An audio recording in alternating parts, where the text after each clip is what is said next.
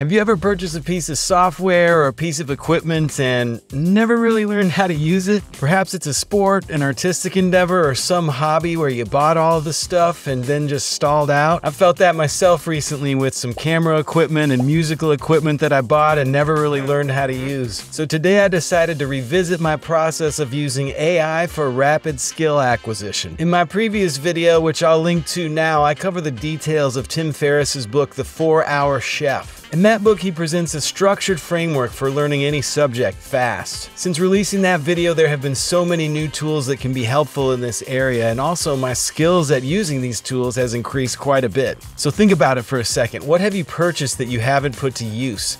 What have you dreamed of learning that you haven't gotten around to? Because today I'm going to break down my new process for learning any skill at lightning speed. By the end of this video, you're going to know how to build state-of-the-art interactive coaches and learning companions that can help you take on even the most complex skills. Let's get after it. So here is the new and improved four-step process. It has been streamlined and improved quite a bit from the last video.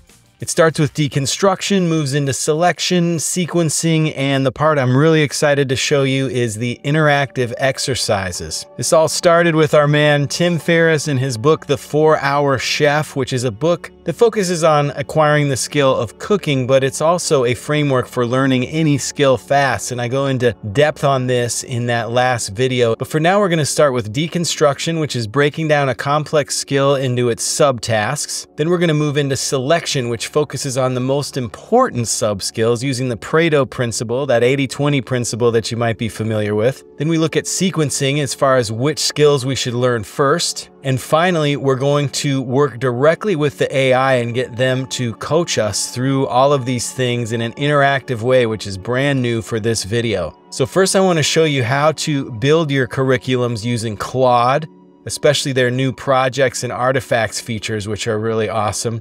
Then I'm going to show you how to use custom GPT with voice to interact and work through the exercises that we create. Then we're going to go further and I'm going to show you how to use Perplexity to gather even more materials and how to organize them and have a handy library of those materials in NotebookLM. So we're going to go through a lot of different tools in a way that will help you learn these new skills faster than ever. If you're new to the Blazing Zebra channel, I want to welcome you and thank you for joining me on my mission of helping everybody I can including lifelong learners around the world learn to use these new AI tools. I've got a cheat sheet version of this video and all of the videos I create instantly available to all my Patreon subscribers. I've also got some coaching options in there as well. I'm jumping right into the cheat sheet now. I really went to town on this. There are well over 25 pages that includes everything you need to know about Tim Ferriss's process in this new and improved way. I'm going to start with this deconstruction prompt. This is going to help us break down whatever complex skill we're trying to learn into the most appropriate sub-skills.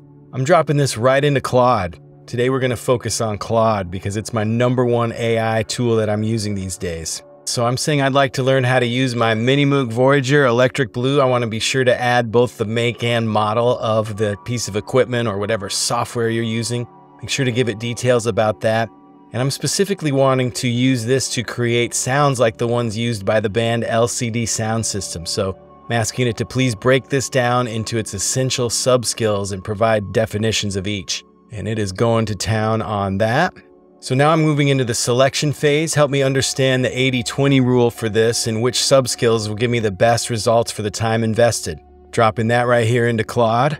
Now we're moving right on to sequencing. Can you recommend an order to learn these sub skills? This way we're stacking one on top of the other, we're grabbing some quick wins, and we're building a strong foundation and not just jumping in at random. And here it goes. Telling me to focus on the fundamentals, sound design, envelope shaping, filter modulation, etc. And now we're moving into some of the new and improved example exercise prompts. So I'm going to ask it to please provide simple example exercises for learning each of these sub skills and it has pulled together some example exercises starting with the fundamentals, moving into sound design. This is pretty awesome, but now I want to have it create some detailed step-by-step -step tutorials for each of these. And that's where this prompt comes in, provide a detailed step-by-step -step process for the first exercise example. I'm dropping that right in here and it's going really into depth on this first exercise. Starting with the very basics of turning it on. And I'm just going to do the same exact thing for each of those exercises. Now, previously, I would have loaded all of this into a Google Doc and just printed that out and had that next to me, which you may want to do. But what I'm doing now is turning these into interactive AI coaches, interactive AI collaborators that can walk me through these things. Here's where ChatGPT has some significant advantages. So I loaded in the, all of those example exercise and I created this custom GPT inside of ChatGPT.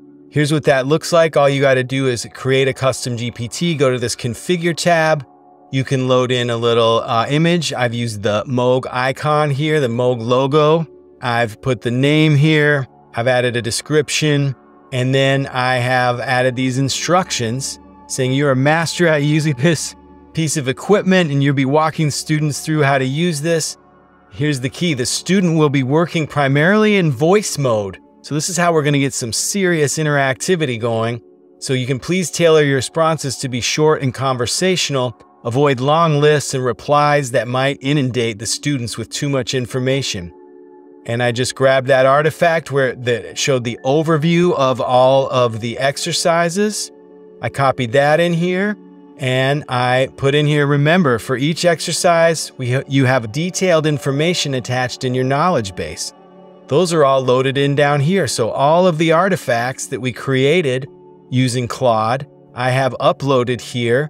You can do this in any format, whether it's a text document or a, a uh, PDF or a Word. I like to use a text document because it has less formatting that the uh, AI will need to parse through. So I've loaded all of those up in here and I have created this uh, set of instructions. This is all in the cheat sheet if you want to dive deeper.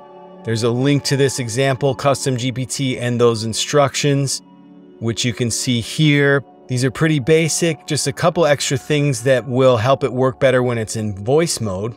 And from there, you can just turn on voice mode and have it walk you through these exercises. Okay, so here I am in the Mac OS ChatGPT app. This is the app that you need to download, not the web version. I'm gonna interact with this custom GPT I built to help me learn how to use this keyboard.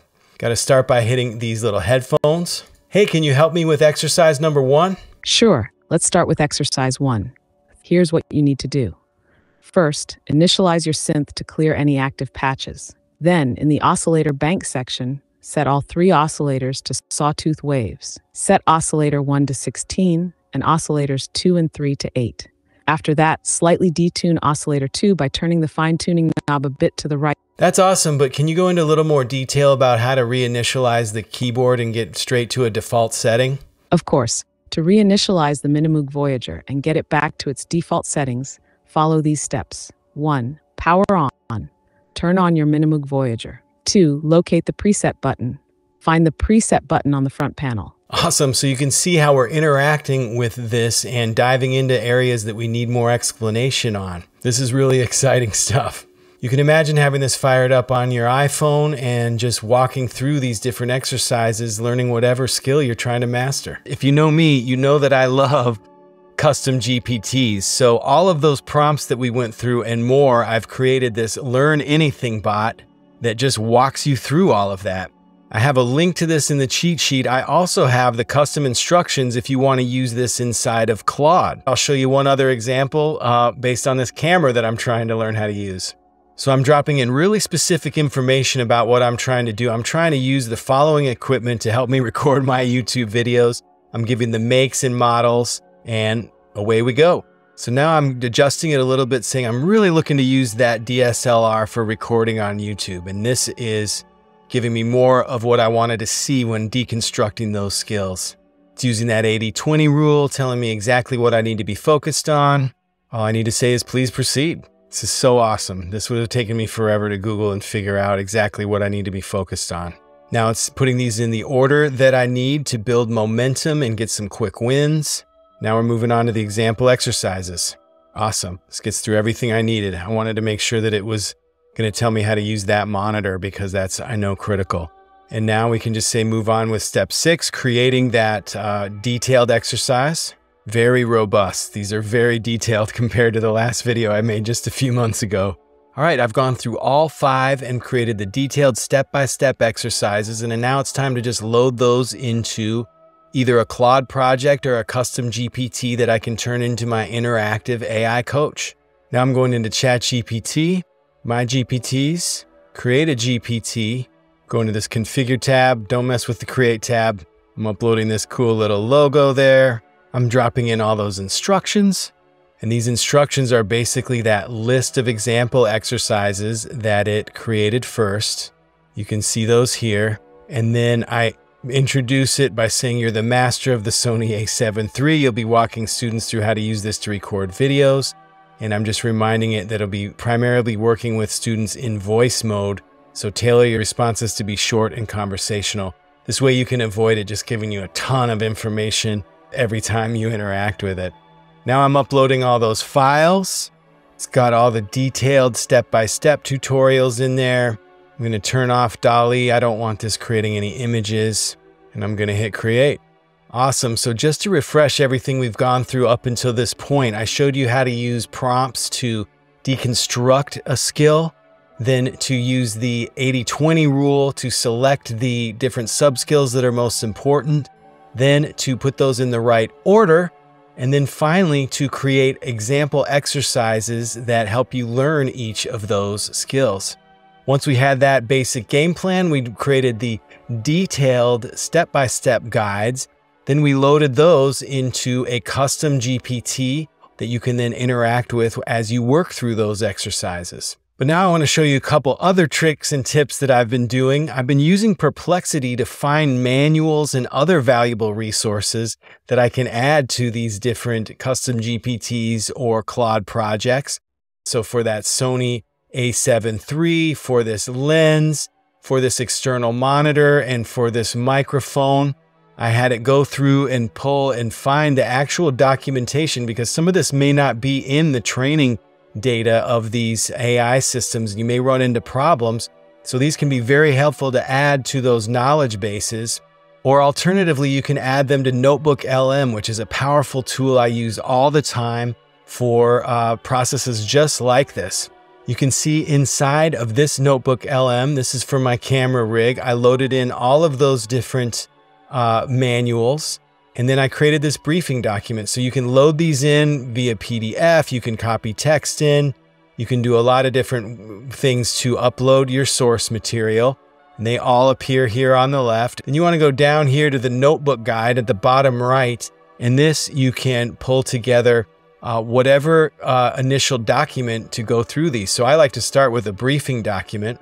Here's what that looks like gives me this briefing document of everything that's in here so I can get started with these and ask it stuff like, what are some of the best practices for connecting my monitor to my camera? Because that's something I've been struggling with.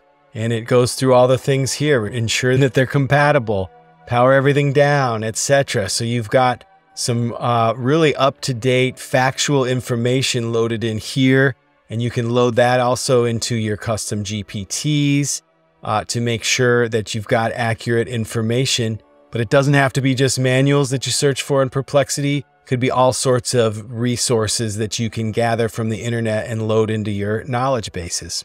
So think to yourself right now, what are you going to learn? What skill are you going to try to master? What piece of equipment or software have you been dying to learn? And just drop that in the comments. Just one or two words of what you're trying to learn. This does a couple things. First, it puts you on the path to action. You're going to be taking that first step of learning to use that tool, learning whatever skill that is. You're also going to flag me and let me know what you're learning so I can jump in the comments and help you along. I hope you got a ton out of this video and you've learned how to create these interactive AI coaches to help you learn complex skills.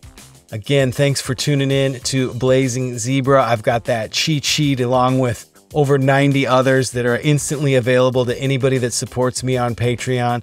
I've got some coaching options in there, but other than that, thanks so much for watching. And please, if you haven't already, subscribe. There are many people watching this who are not subscribed, so I would love it if you hit that subscribe button. Uh, give me a thumbs up and tune in for the next video. Make your dreams come true.